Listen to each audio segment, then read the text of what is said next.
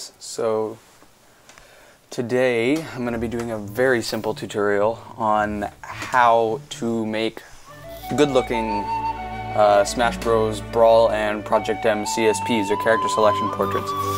Now there's two main ways of doing this and the first one is to just take a, or a screenshot in Brawl or Project M and uh,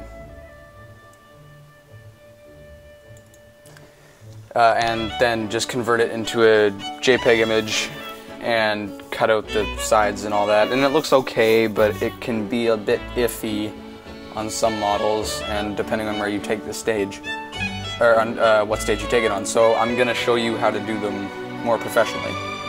So the first thing you'll need for this is um, Autodesk uh, 3ds Max or Maya. I'm going to be doing it in Maya because I'm on OS X and OS X doesn't have 3ds Max, but most people use 3ds Max.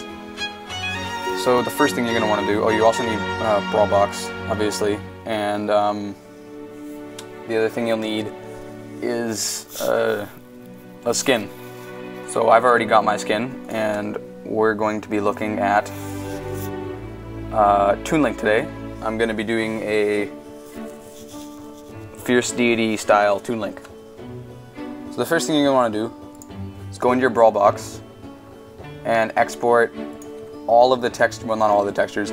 Um, it's easier if you do just the open eye textures because if your eye is closed, if you have um, a closed eyelid on your texture, they can be uh, difficult to open.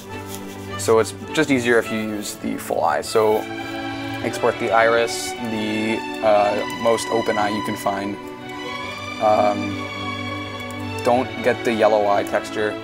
Make sure you get the arms and the legs, all the body textures. It varies on character to character. For example, uh, Zelda has all of her textures in um, basically two large images, but Toon Link has his across several. So there's the body, and there's the head, etc., etc. And the Maya, the Mayas, uh, I couldn't figure out what they were at first, but they're his forehead, and I think you'll need at least two of those. And he's got a bunch of different mouths. I used this one for the tutorial. So anyway, uh, export them all into a folder. Oh, and you'll have to export them, the uh, model as well. Um, if you're using Brawlbox on Mac, your Brawlbox might crash when you select the model preview. That doesn't matter. If you export the model as a, a .dae file, uh, you should be fine so we don't need Brawlbox anymore. So export all that stuff into a folder. Mine's called CSP. You can call yours whatever you want. Go into Maya or 3ds Max. I'm not really exactly sure how to do this in 3ds Max, but I know they're by, both by Autodesk, so it can't be that different. And it's actually way easier than you'd think. Now, it's I'm not going to teach you how to do all the UV mapping for your texture here. Uh, that's pretty hard to do, so just unless you already know how to do that, I'd recommend just finding one on uh, Brawl Vault desktop, go Toon CSP, and you find the .dae file. And then you just wait a bit, and then it'll import the model. Now you can, there's three different renderers that, uh, rendering pieces of rendering software that Maya has, and one of them is uh, Viewport 2, Legacy Default Viewport, and Legacy High Quality Viewport. That's uh, Legacy Default Viewport. And I usually use Legacy High Quality because it gives me the best results. So you can see all those little purple wrappers. Uh, those are basically joints or pieces that you can move on the model. And in Maya to move them, you select this rotating bit and then you just click on one and then you can move different stuff, but that's not what I'm gonna show you right now. To texture your model, go into shading and assuming you've uh, gotten everything uh, into your folder correctly, it should work by clicking hardware texturing and your model will be fully textured. Now if you can see I've got a bit of a black forehead on my um, Toon Link model and that's because any totally blank PNGs your uh, Maya renders will be rendered as black. And to fix that you go into Windows, Rendering Editors, Hypershade, and see these? These are the two Maya, uh, Mayu files and that's his forehead and you can see the common material properties in there. And what you're going to want to do, I'm going to turn this um, is just turn the transparency all the way up. so that they're not rendered as black, they're rendered as transparent. And that is the easiest way to do everything. See right there, now his forehead is nice and clear again. Alright, so what you're going to want to do, just click front. That'll bring you the default, uh, default position of the model. Now, for some characters, uh, some Sword and Shield characters, I believe Marth has this as well, they will have two swords, or two, in Link's case, uh, two swords and two shields. I, for this tutorial, won't be removing this, but I will be cleverly hiding it, because, and that's fairly easy to do. Just put it behind his leg.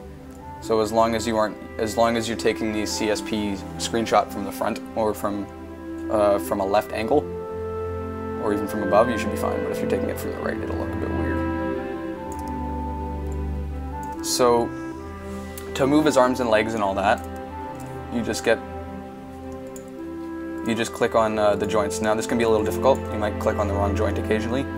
Um, to, to find his shoulder joint, click around his neck area and to the side that you want, obviously. And for his elbow joint, click on the, I guess, the top part of his arm. Don't really know what that's called. Not the forearm, but the bit above it.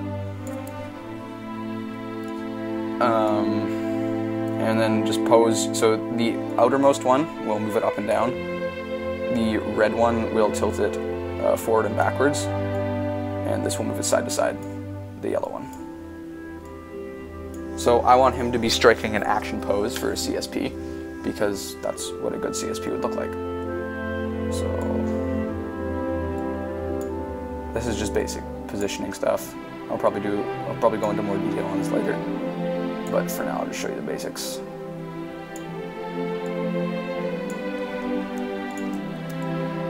And the controls in Maya, uh, to rotate your model on a Mac, it's command click. And I think I have this right now. No, that still is full shoulder joint.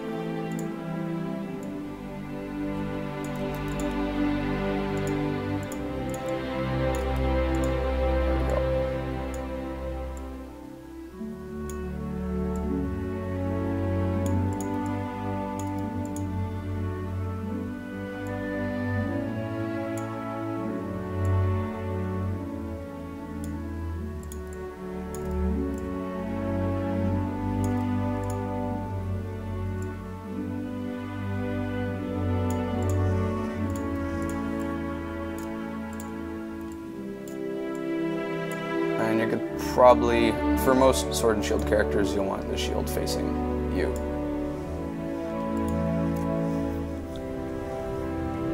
Anyway, so, and then when that's done, I'll edit this later. It's probably going to look like, uh, be what it'll look like in the final build. But something like, something like that. Uh, anyway, and then to take your screenshot, um, don't actually take a screenshot. On a Mac, that's, I believe, uh, Shift Command Space or something like that, or Shift Command Click. I'm probably totally wrong, but that's just what I remember. Uh, click one of these. These are render windows, that's render settings. Go IPR. Take you to render view, and you'll see this. And uh, just,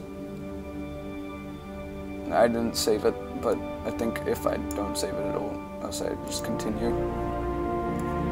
Yeah, okay. Um, please don't quit. I'll be mad at you if you quit.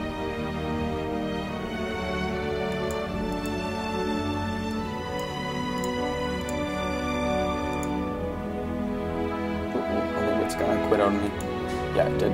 Anyway, but that is how you make it. And to um, save it, to save your pose as a as an image, you just go to File in the top left-hand corner of that uh, of your of that uh, render view there, and there's a click Save, and you just save it wherever you want to. Now the images tend to be a bit dark, so I'd recommend going into Photoshop or something like that and um, brightening it. But yeah, that's a basic tutorial on how to make uh, good CSPs. And you can use this on a, basically every model you get, and they'll pretty much all start in a T-pose depending on where you get them. But yeah, thanks for watching. Bye.